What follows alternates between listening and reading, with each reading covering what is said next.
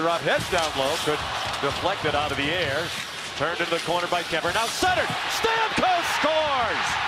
He was all alone right in front of the net, and he buried it. It's a 4-2 Lightning lead. Wrong guy to leave alone in front of the net. Steven Stamkos has got his 10th of the playoffs.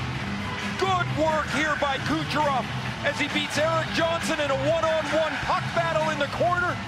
Shields the puck to find Stamkos.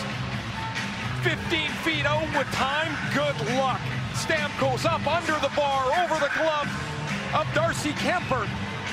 And Tampa's got that two-goal lead back. It's 4-2. His 10th of the playoffs.